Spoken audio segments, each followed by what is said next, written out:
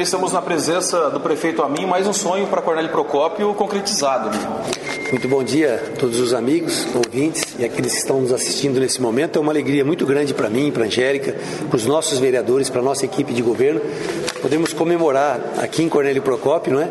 A o início praticamente das atividades que vão levar os nossos alunos a estudarem no Colégio da Polícia Militar. A conquista foi muito grande, eu digo, porque, como é sabido, este colégio só existe em alguns lugares, não é? Nós podemos dizer, ele existe em Curitiba, na capital do estado, existe em Londrina, e a terceira unidade é a unidade de Cornélio Procópio.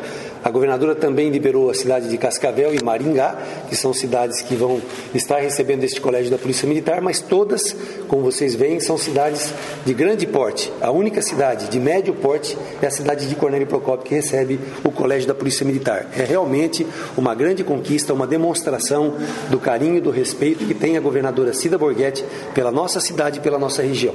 Agora, prefeito, são em torno de 120 vagas, é isso? Isso, 120 vagas, inclusive ontem eu conversava em Curitiba com a coronel Aldilene, que é a comandante geral da Polícia Militar do Paraná, ela me disse uma, ela me passou uma informação que eu não tinha, até indagado pela minha equipe de comunicação, eu não tinha a resposta para dar e agora eu tenho, porque eu ouvi da comandante, salvo que haja alguma, algum equívoco na informação da parte dela também. Mas ela me disse o seguinte, que essas aproximadas, essas novas vagas que estão surgindo são para aqueles que vão participar do processo seletivo sem prejuízo daqueles que já estudam na escola. Sim. Ou seja, se todos os alunos do Colégio Estadual Alberto Carazai, que ali se encontram, ou da, da, da Yolanda Gonçalves Corrêa, que é a escola municipal, é isso? Isso mesmo. Todos esses alunos têm o direito de permanecer estudando no Colégio Militar e as demais vagas serão abertas para outras pessoas. Mas, ou seja, ninguém terá prejuízo. Aqueles que já estudam ali terão a preferência de continuar estudando.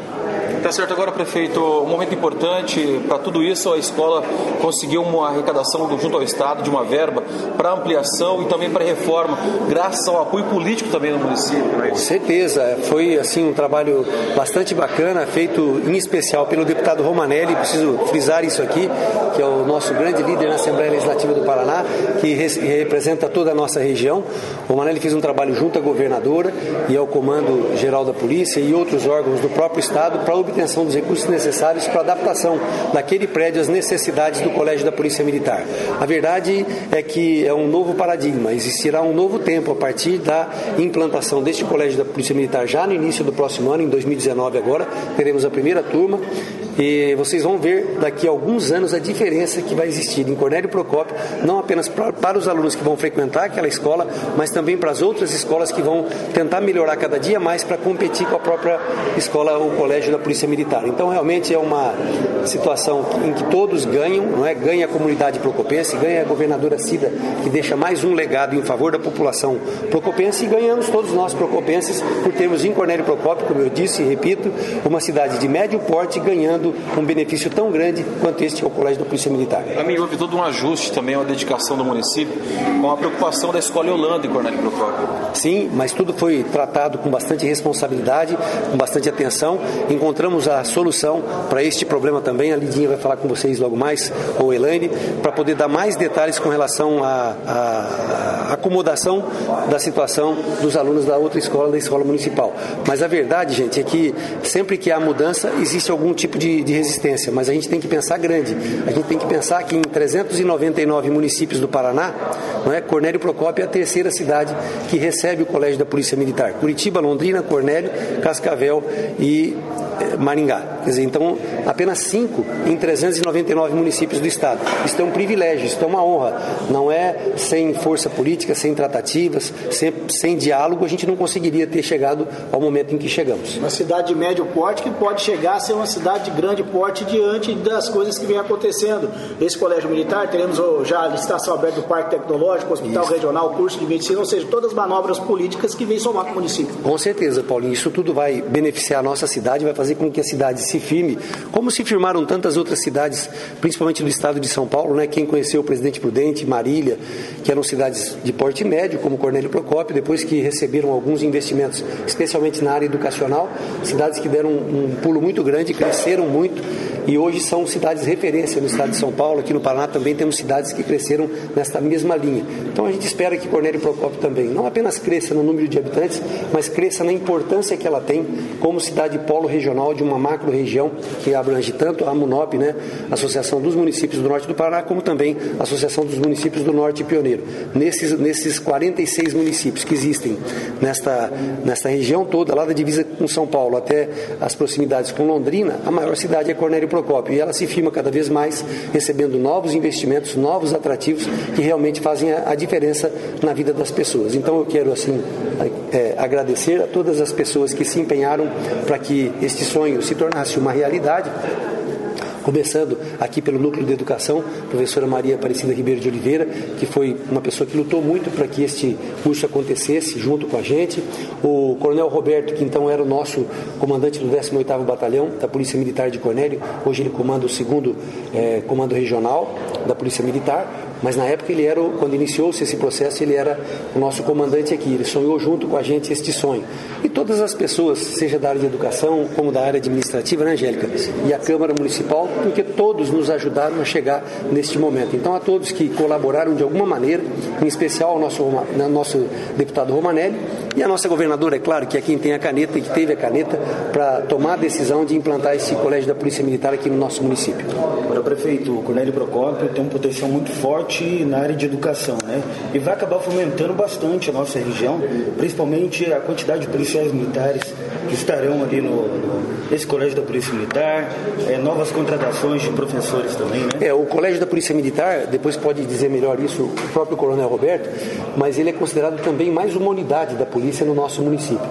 Então, aumenta, claro, o contingente de pessoal, é, aumenta a qualidade do ensino, porque o Colégio da, Militar, da Polícia Militar ele guarda dois princípios básicos aí, né? questão da, da dignidade, questão do respeito, da disciplina, tudo isso vai ser trabalhado muito forte ali no Colégio da Polícia Militar, em benefício das crianças, dos, dos alunos do município de Cornélio.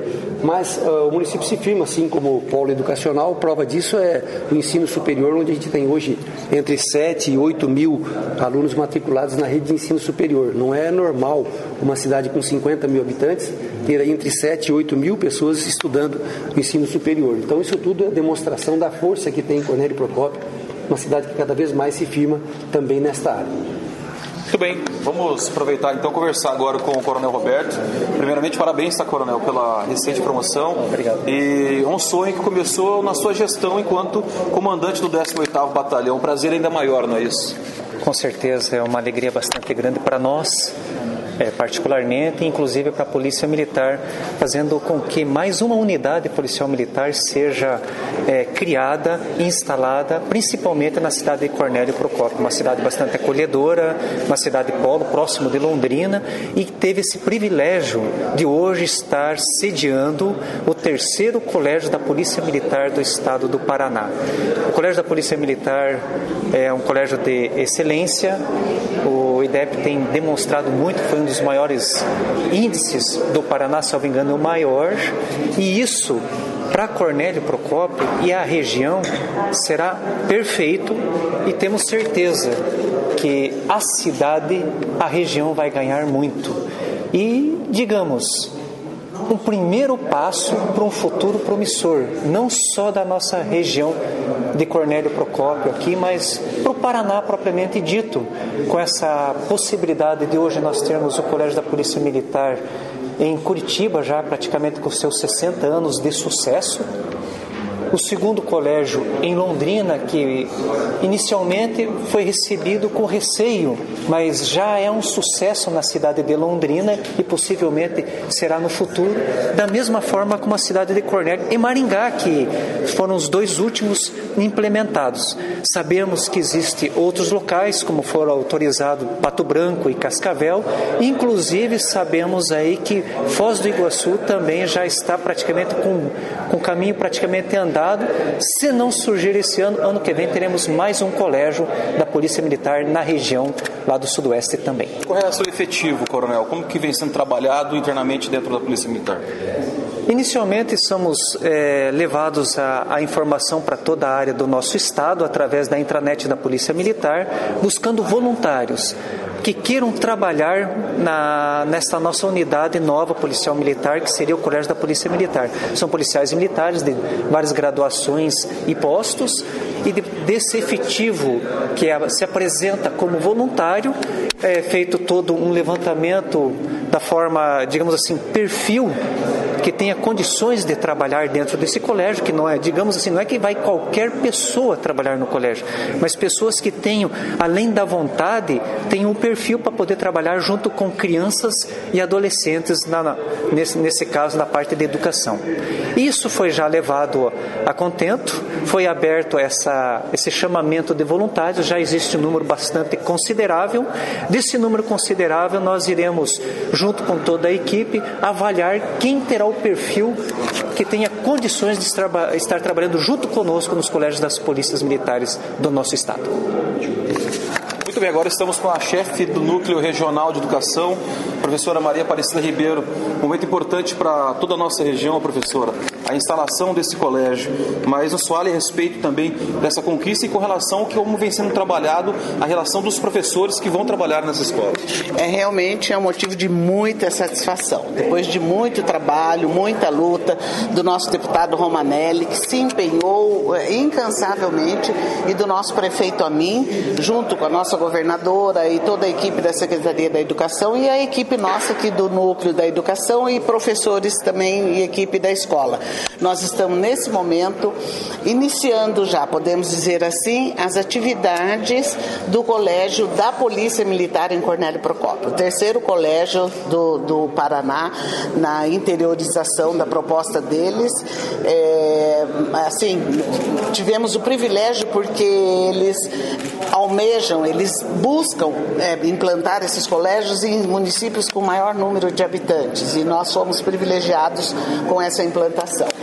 Com relação aos trabalhos, a, proposta, a, a, parte administrativa é da Secretaria da Segurança Pública, né, do, da Polícia Militar, e a parte pedagógica é nossa, é da Secretaria da Educação. Nós já estamos, é, é hoje abre pelo edital as inscrições, tudo online, e já estamos nos preparando também e nos mobilizando para o credenciamento para a entrevista dos professores, porque os professores serão da nossa rede serão professores que estarão à disposição do colégio. Não há uma é, é, efetivação lá, eles não vão ser, não há uma lotação dos nossos professores lá, mas todos eles poderão se inscrever, aqueles que têm interesse em trabalhar lá, e depois será feita uma entrevista pela própria estrutura da Polícia Militar e eles serão daí cadastrados, credenciados, estarão com ordem de serviço trabalhando lá. Professora Maria, se tratar do Colégio da Polícia Militar, haverá uma disciplina especial que não está na grade do Estado? A parte pedagógica, a parte acadêmica, a parte curricular é nossa dentro do que, do que prega a BNCC, a Base Nacional Curricular Comum. E depois eles terão as outras atividades que daí já não são nossa, é, nem de, de, é, não são os nossos professores que irão trabalhar com essa outra parte, é a própria Polícia Militar, que versará sobre os valores, sobre os direitos, sobre, na verdade, tudo aquilo que deve ser trabalhado para que se forme um bom cidadão. E isso, muitas vezes, a gente percebe que nas outras escolas, ou não só estaduais, mas enfim, na nossa sociedade, foram se perdendo ao longo do caminho aqueles valores, tanto éticos como morais, como disciplinares. Essa parte é trabalhada pela Polícia Militar. Agora, professora, é, o processo seletivo está marcado agora para dezembro e o ano letivo começa quando? O período letivo, né? Estamos correndo com tudo, estamos nos preparando com tudo para que ele comece em fevereiro, junto com o calendário nosso normal das outras escolas.